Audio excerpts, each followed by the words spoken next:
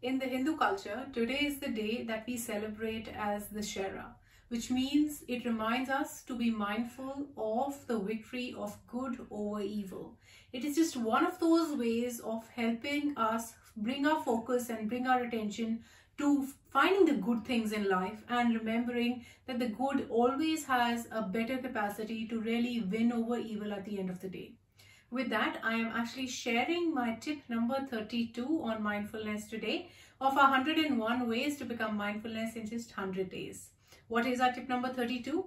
Our tip number 32, in line with what I just described, is going to be about finding your reason for today. So my reason for today, let's quickly put this up on our mindfulness wall and move further from there. So there it goes.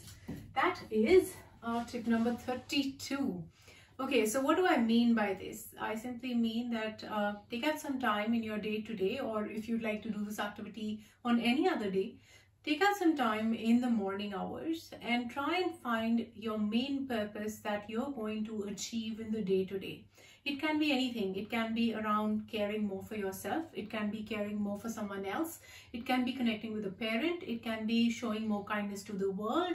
It can be making sure that you connect more with the nature. Just make sure that you have a purpose for that day that is our aim you know to bring your mindfulness and attention to the entire concept of what you're going to do within the day that is going to be your reason for today with that, we are closing tip number 32 and I hope you really enjoy this.